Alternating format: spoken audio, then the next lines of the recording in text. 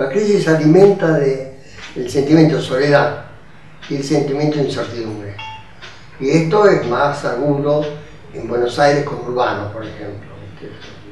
La falta de trabajo en muchos, la mayoría de los adolescentes genera una, una situación de vacío existencial que se tapa con, con drogas, se llena con otras cosas, con violencia, aparece todo eso.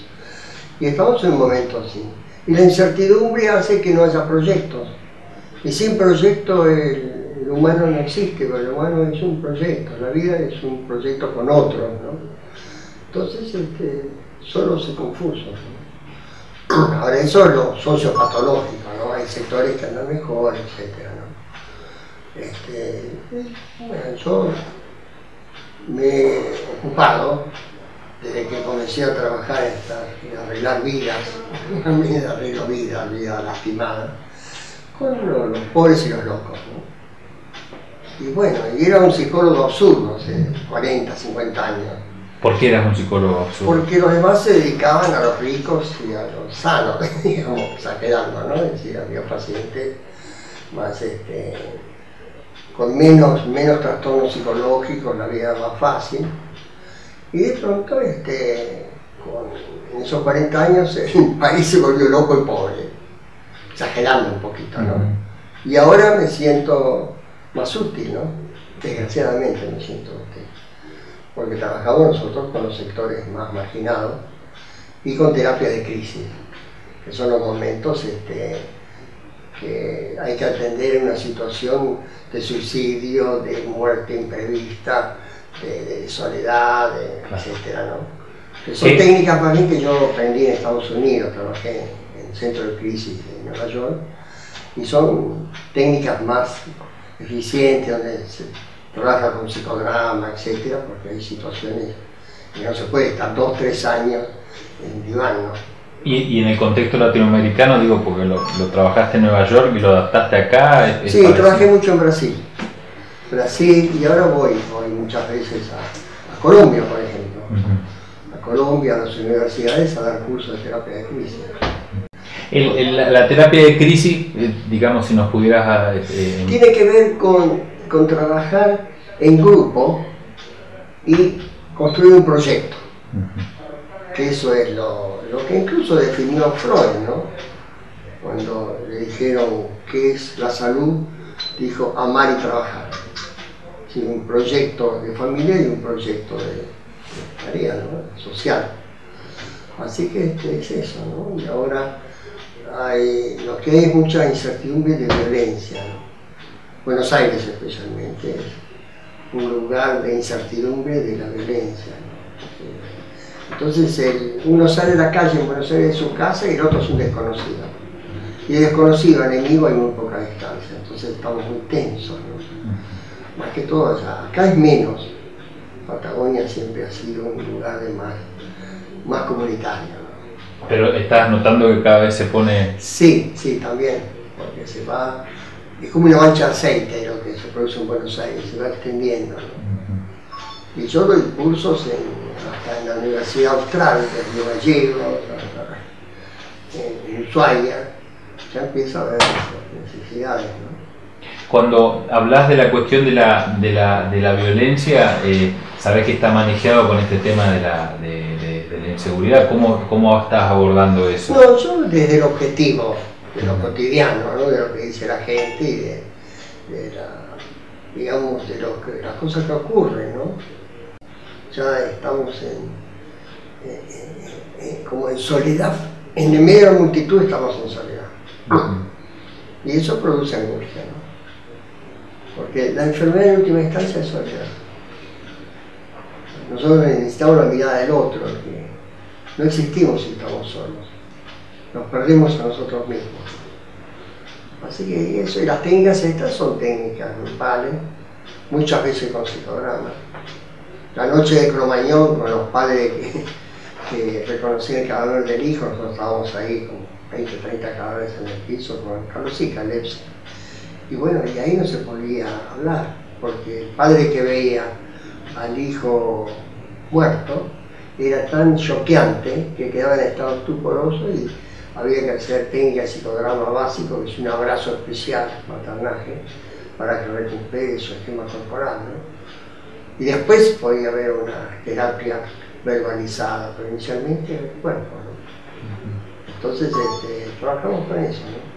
Eh, Sabes que generalmente a los pobres el, el, no tienen problemas psicológicos, ¿no? La idea que baja del sistema que con no comida porque tienen que conseguir comida antes de terapia. Eh, eh, con, con, analizame eso. Nosotros, mira, trabajamos también en comunidades, en las villas. Tenemos las ollitas, que a partir de la, las madres de la villa, quizás Pachamama tan fuerte, hemos creado una comunidad que, que empieza con alimentación y después tiene eh, temas de, aprendizaje, etcétera, comunitarios. ¿no? Hace 15 años en la villa, en La Matanza. Uh -huh. Y también el Bancadero hace 32 años, que es una comunidad de autogestión de crisis. Siempre nosotros trabajamos sin permiso, sin plata y sin permiso, entre todos y como se pueda. Mirá qué, qué, qué, qué, qué consignas que tenemos, ¿no? Sin plata, sin permiso, entre todo como se... y la gente se junta, cuando la gente se junta, no lo para nadie. Cuando se habla de que Argentina tiene muchos psicólogos, ¿qué, qué, qué refiere ese enfoque? Sí, lo que pasa es que las universidades son más bien psicoanalíticas. El pensamiento psicoanalítico es de a uno, hablando del pasado. Nosotros trabajamos en grupo construyendo el futuro. ¿okay? De a uno, hablando del pasado, es medio suicida en un momento donde justamente ese es el, esa es la, la enfermedad, ¿no? La enfermedad es que estamos de a uno hablando del pasado, ¿no? En grupo, construyendo el futuro, por lo tanto tenemos que incorporar técnicas de psicodrama, técnicas de, de comida terapéutica. Sí, eso puede hacer. Hacemos psicograma en el fondo de los pisos. ¿Cómo lo hacemos? La vida de Juan Moreira. Y Juan Moreira es el gaucho perseguido. Y un internado psiquiátrico es, es un también un pobre perseguido, porque lo acusan de esquizofrénico.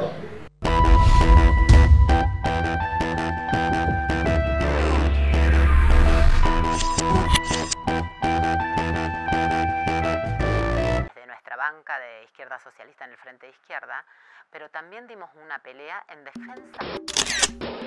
Hace pocos días se realizó en esta legislatura un congreso pedagógico que iba a debatir los lineamientos generales para este, realizar la nueva ley de educación en la provincia y que desde nuestro sindicato ATEN hemos rechazado.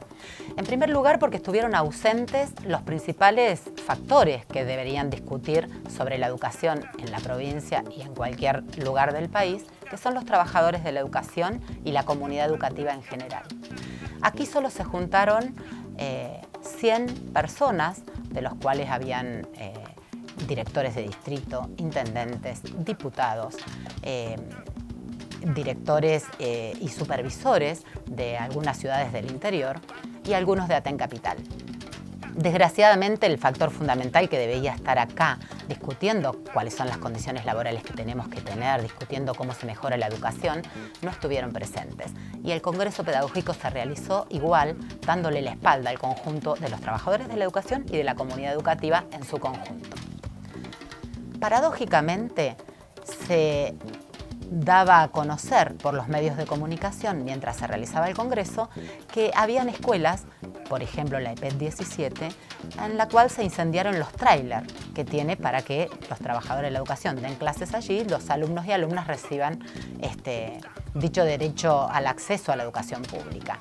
Eh, esto pinta de cuerpo entero cuál es la situación de la escuela pública, mientras 100 personas ilustres de, definían cuál va a ser el destino de la escuela pública. Junto con esto, colas y colas en, las, en los distintos establecimientos eh, de media eh, se veían para inscribir a los alumnos y a las alumnas que ingresan al primer año de, de la escuela secundaria. Desgraciadamente, cientos y cientos de alumnos quedaron fuera del sistema educativo porque en realidad lo que justamente el Congreso Educativo no discutió fue el presupuesto que necesitamos para mejorar eh, la educación pública en la provincia del Neuquén, este, que justamente está absolutamente menospreciado y menoscabado. Eh, esa plata que necesitamos para mejorar la educación no fue parte del debate. Y por eso lo que demuestra que este Congreso es absolutamente trucho que no tomó las grandes dificultades que tiene la educación pública, que se resuelven en primer lugar triplicando el presupuesto educativo para que todas estas este, dificultades que tenemos se resuelvan. Estamos dando un debate fuerte y hemos pedido un informe al Consejo Provincial de Educación que nos diga cuál es la situación. Y esto queda demostrado en la última resolución sobre la reforma de la escuela media, que han avanzado en determinar que el ciclo básico deje de ser de tres años para que pase a ser de dos años. Esto significa menor cantidad de conocimientos para el conjunto de los estudiantes, pero además significa también pérdida de horas de trabajo para el conjunto de los trabajadores de la educación. Por lo tanto, rechazamos esta reforma educativa porque además los lineamientos que discutió el Congreso Educativo tienen que ver justamente con seguir subsidiando a la escuela privada, seguir sacando plata de la pública para poner este, en las escuelas eh, de gestión privada eh, y además no avanza en resolver los problemas concretos que tenemos eh, día a día.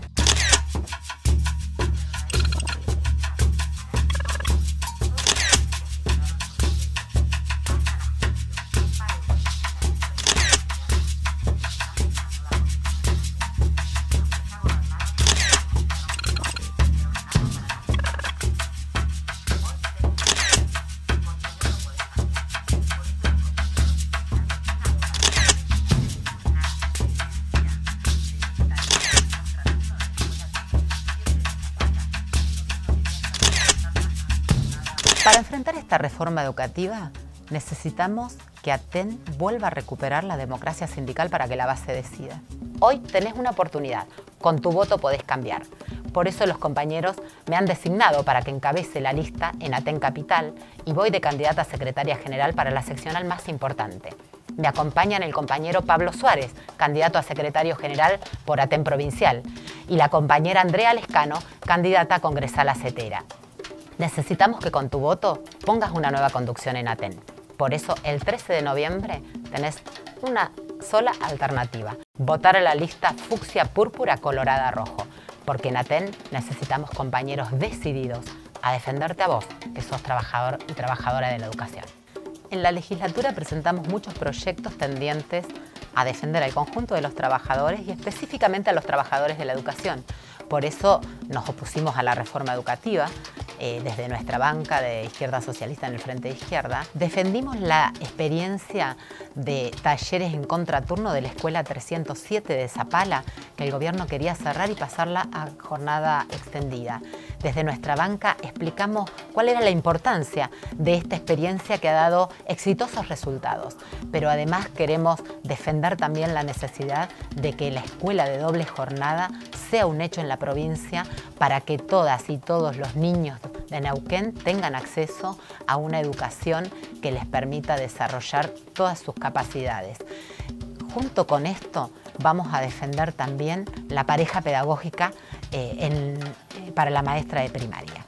Estamos dando un debate fuerte y hemos pedido un informe al Consejo Provincial de Educación que nos diga cuál es la situación de las aulas y las escuelas trailer, porque desde esta banca defendemos la escuela pública, defendimos al conjunto de los trabajadores y queremos ahora en ATEN defender a las maestras y maestros, profesores y profesoras, a los estudiantes en su derecho a acceder a la educación pública, queremos que se terminen con el subsidio a las privadas y para eso nos presentamos en estas elecciones. Por eso vos sos parte fundamental para que con tu voto, hablando con los compañeros, explicando la necesidad de tener una nueva conducción en ATEN para recuperar la democracia sindical para que la base decida. El 13 de noviembre vota al Frente Fucsia Púrpura Colorada Rojo. Angélica Lagunas, candidata a secretaria general por ATEN Capital. Pablo Suárez, candidato a secretario general por ATEN Provincial. Y Andrea Lescano, candidata a primer congresal a